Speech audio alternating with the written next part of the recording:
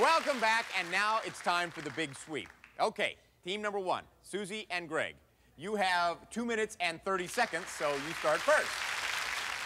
Team number two, Lisa and Terry, you have two minutes. And team number three, Sharon and Linda, you have a minute and 50 seconds. Just look out there, people. Everything you see in our market, up and down the aisles, it's yours to grab. And keep your eyes open for the supermarket sweep bonuses, because they're worth anywhere between 50 to $200. Remember, only one of those to a customer.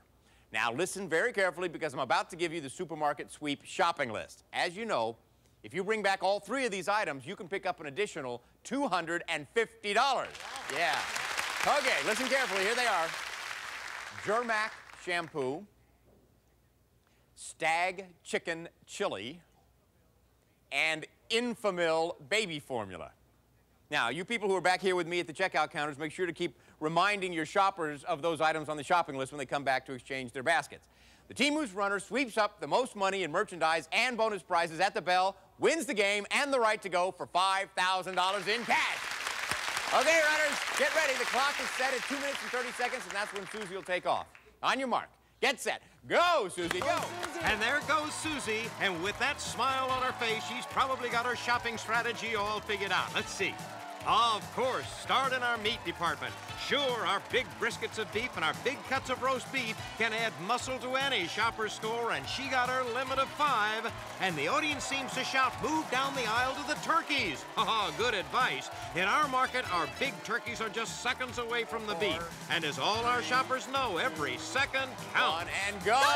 And look at Lisa fly. Looks like she's scanning the shelves for a shopping list item, and she knows if you don't see one right away, move on. Back to the counter for Team 3. And there's Sharon coming right at us. Where's she headed? Uh, to the baby products. Lisa's there looking for the Enfamil formula. And look, she holds it up to say, I got it. And Sharon takes a ahead and gets one also. That's number one on the shopping list for Lisa and Sharon. And Sharon stays there to get a few more cans of baby formula. But back to Susie. This smart shopper knows there's a lot of money to be made piling in our boxes of Ultra Tide detergent. And you know what else is smart? Find your second shopping list item, and Lisa grabs the Germac shampoo pops it into her cart and turns around and heads toward the back of the market. Sharon's already in the back of the market, in our deli section, and she's found our five-pound blocks of mozzarella cheese. But you know what Susie's trying to find? Germac shampoo. We just saw Lisa get it, but Susie's having trouble. Sometimes you spot a shopping list item fast, and sometimes you don't. Anyway, Lisa knows all the tricks and she spots the Stagg chicken chili to complete her shopping list. That means we'll add an extra $250 to her score. Meanwhile, in the deli section, Sharon wants our giant four-foot salamis. But hold it, another cameraman is about to show us the first bonus item to be taken. It's the Hawaiian Punch, and Susie's got it, and she races it back, tosses it to her partner, and seems to wonder where to go next.